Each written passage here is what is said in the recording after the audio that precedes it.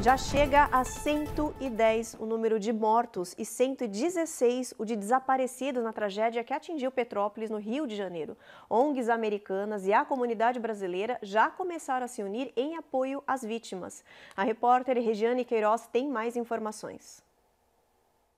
As equipes de resgate ainda buscam por sobreviventes em meio à lama e aos escombros em Petrópolis, na região serrana do Rio de Janeiro. Já são dois dias de trabalho e uma corrida contra o tempo.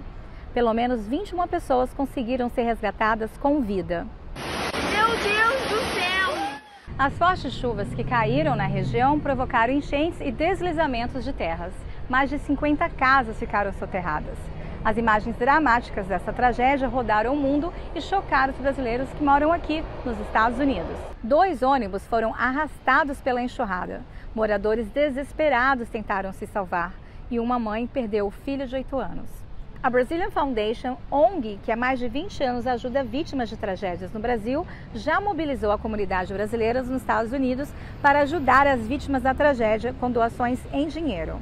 Vamos uh, apoiar as pessoas em Petrópolis através de apoio para o Centro de Defesa dos Direitos Humanos, uma entidade fundada eh, por Leonardo Boff, que é o presidente atual. Nós podemos receber suas doações através de nosso site, ou em reais ou em dólar. Visita nosso site www.brasilfoundation.org. Nós estamos com 21 anos de experiência apoiando entidades no Brasil que estão engajados nas lutas para direitos humanos, justiça social e oportunidades para todos os brasileiros e as brasileiras.